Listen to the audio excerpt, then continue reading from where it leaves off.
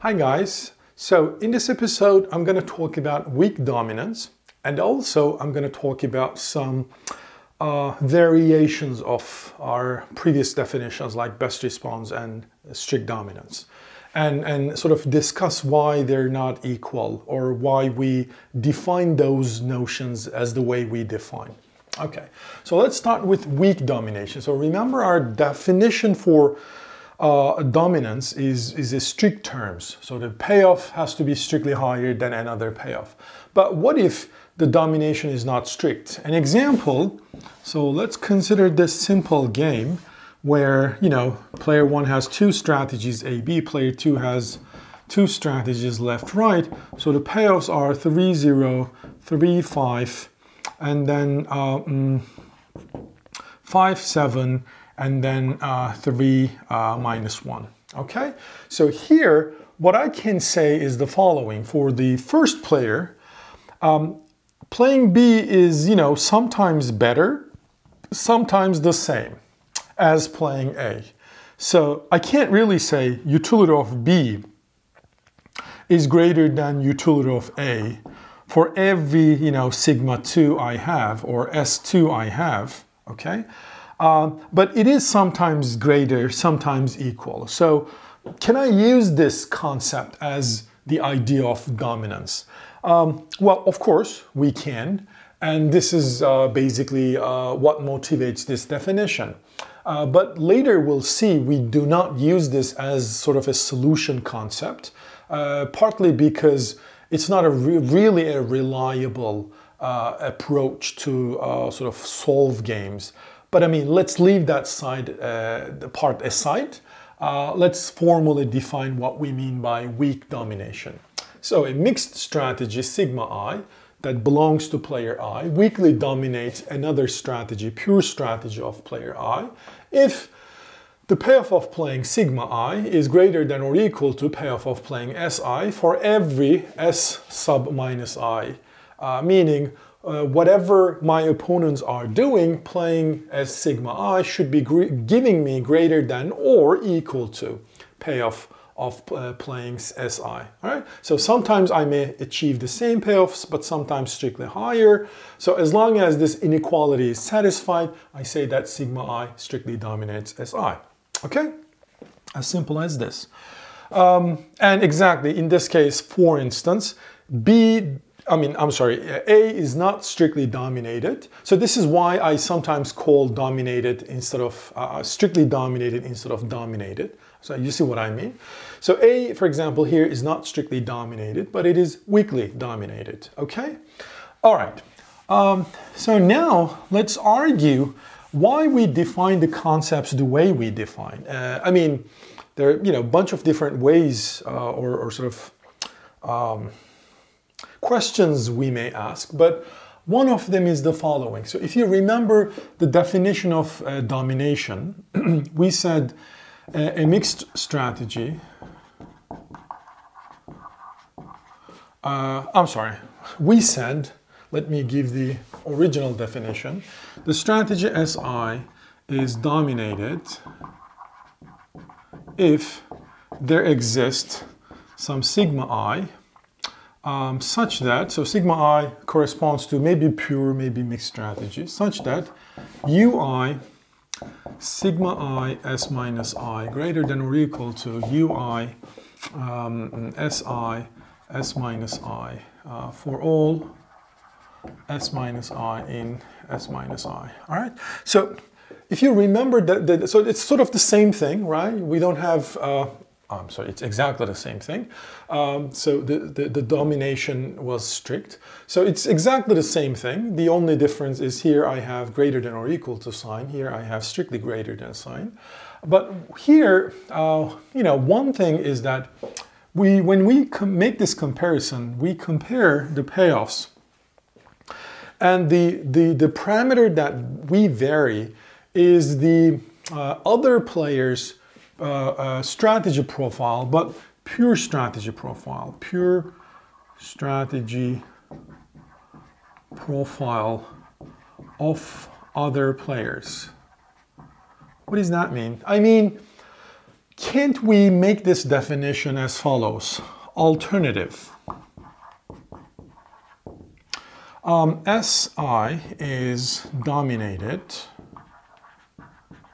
if there exists sigma i such that um, ui sigma i sigma minus i greater than ui uh, si sigma minus i for all uh, sigma minus i element of uh,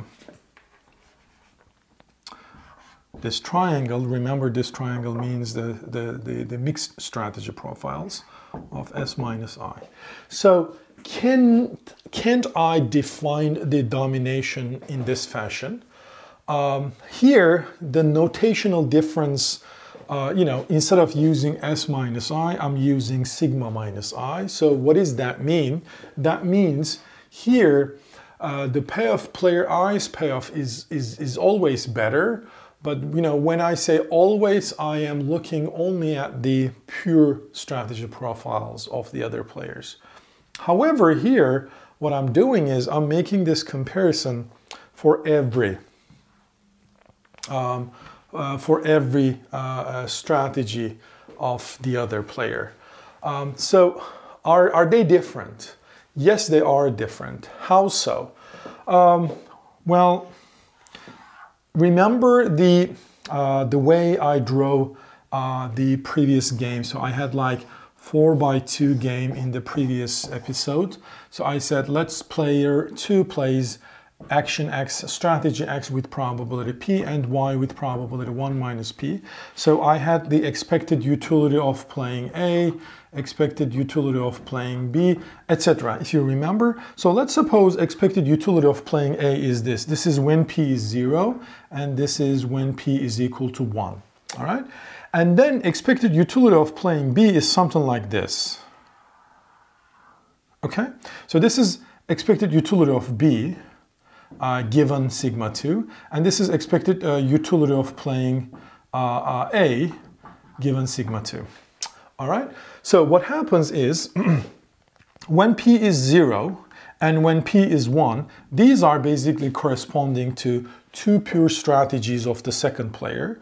All right, meaning uh, when I compare these two payoffs of the player 1, all right, um, under the assumption that the second player is, is, is playing a pure strategy, while we have that player one's strategy under B is higher than player one's strategy under A. So therefore, according to this definition, uh, so let's call this definition one, and let's call this definition two. So according to, to definition one, uh, A is strictly dominated. All right? However, according to definition 2, according to uh, definition 2, A is not strictly dominated. Okay? Uh, why is that so? Well, because there are some p-values, for example, in this range, where A is giving higher utility than B, and strictly. And sometimes they give, you know, both A and B give exactly the same payoff. So the thing is though, uh, in definition one, I do not really care about what happens of the payoff of A and payoff of B when P is in between 0, 1, but strictly less than 1 and strictly higher than 1. However, according to definition 2, I do care about what happens to the payoff of playing A and B when P takes any value between 0 and 1. All right, so therefore, these two definitions may actually lead to two different conclusions.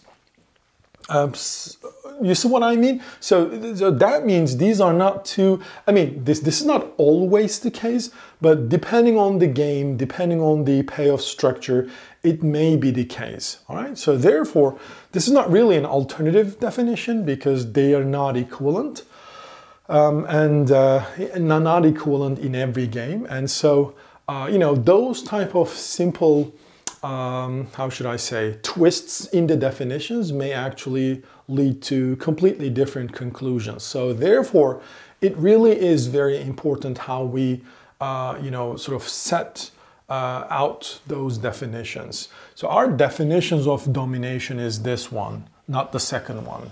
Um, but obviously these are a matter of taste, right? I mean, some people may define it in this fashion. Some people may want to define it in this fashion. Uh, so which one do you like? Uh, well, that's, that's totally up to you. All right. Uh, so similar kind of uh, uh, comparisons we can do in other definitions. So the notations are very, very critical. So uh, don't, don't forget that. one more thing is, well, fine, this second definition is not uh, the definition we are worried about, fine, but let's focus on the first definition.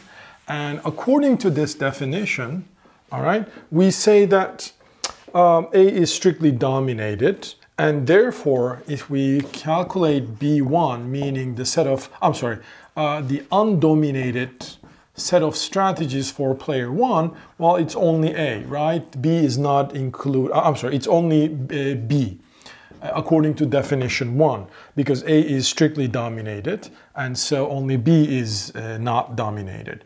However, if you, if you calculate the best response of player one, the, the set of best response strategies, uh, well, here, remember, there are some p-values where a is giving higher payoff and you know some p-values where B is giving higher payoff. So it seems like both A and B are, uh, are our best response. So is this kind of an example where uh, UD1 is different, uh, I'm sorry, equal to B1? So they're not equal, clearly, but this is, remember, did, did, did this uh, example motivated by two-person game, a finite two-person game. Um, but then we reach that you know they, they're not equal. So is this a contradiction? So what's what's really going on here? Well here is the reason. Um, in that this is why the proof of this argument, you know, uh, the, the set of undominated strategies for each player is equal to the set of uh, best response strategies. Uh, the, the, the, argument of this proof is more involved, more complicated than you probably think. And the reason is uh, we will never have this sort of payoff structure in a finite game uh, where there are two players. Uh, well, why is that so? Well, just look at, again, this is not a generic proof, but if this is a two player game and if the second player, for simplicity, has two actions, all right, so uh, therefore the, the, the, beliefs are, are going to be like P uh, versus 1 minus P. So therefore, expected payoff of playing any action, A, B, C, D, E, whatever, all these actions payoffs are going to be a, a lines, a straight lines. Straight lines, um, right? Because I mean, it's meaning the expected payoff of playing B can never be a sort of a, this this kind of weird function where it decreases first and then increases because this is uh, more like a quadratic function, and there's no way the expected payoff of player one is going to be a quadratic function of P because P enters to the expected utility linearly. Right? However, this functional form is more like p squared plus something something. All right? So that means the example I picked here can never occur in a finite action game uh, and when there are two players. And so therefore, uh, you know, this conclusion will never really occur in that environment. Uh, it's just an example that I gave you. It's a made up example where I gave you that two definitions may not really uh, mean the same thing in every games meaning there are there might be some games where two definitions may actually be different.